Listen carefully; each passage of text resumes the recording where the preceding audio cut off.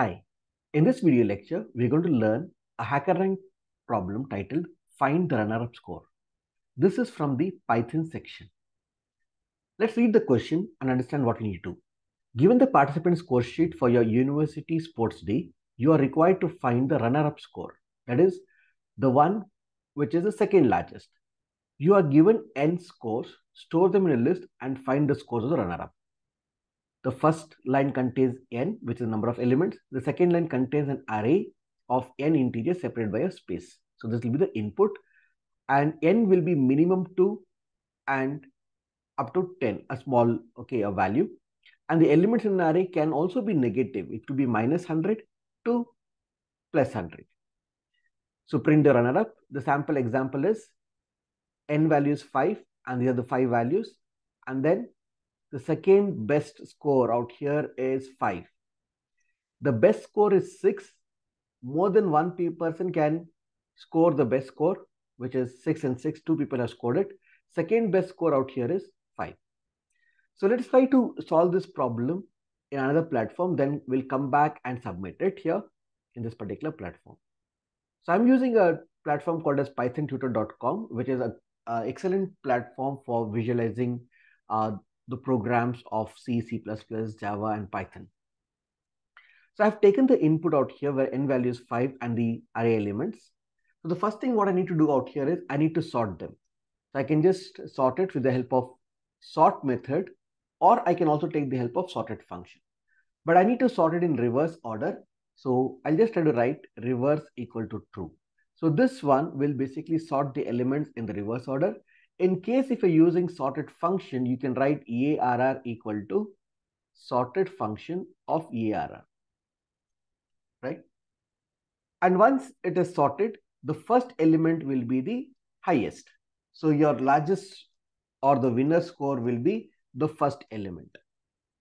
Now, we might say that array of 1 could be the second largest, but there is a input given where more than one person could score the highest. So the given example out here, in this, if you arrange them in descending order, the first element will be 6, second element will also be 6, third element will be 5. So it should be array of 2.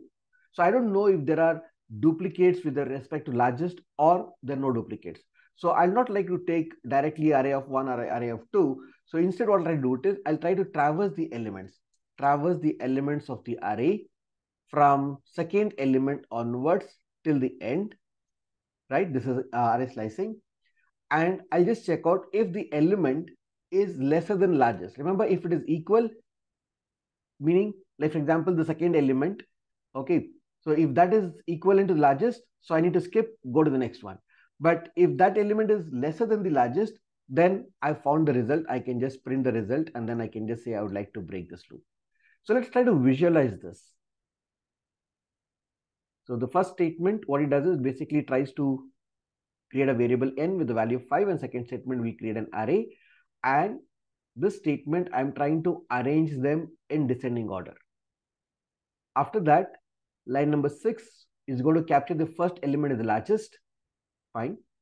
Now here I'm going to run a loop starting from the second element. Now though in the first iteration, the second element, the second element out here is this 6. So I'm going to get that I'm going to check out, is this lesser than the largest? The answer is no.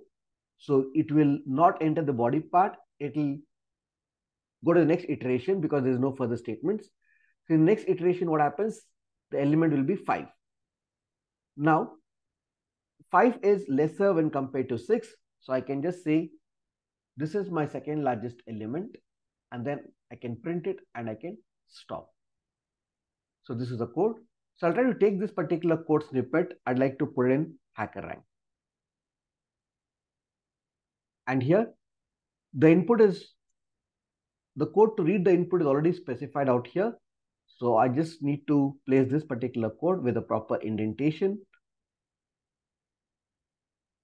And I'd like to run this particular code snippet.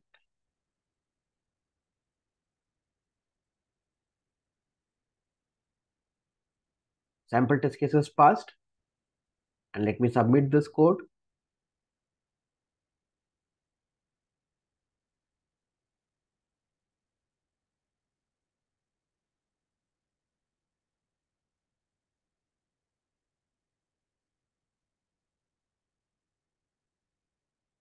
It has passed all the test cases out here, right?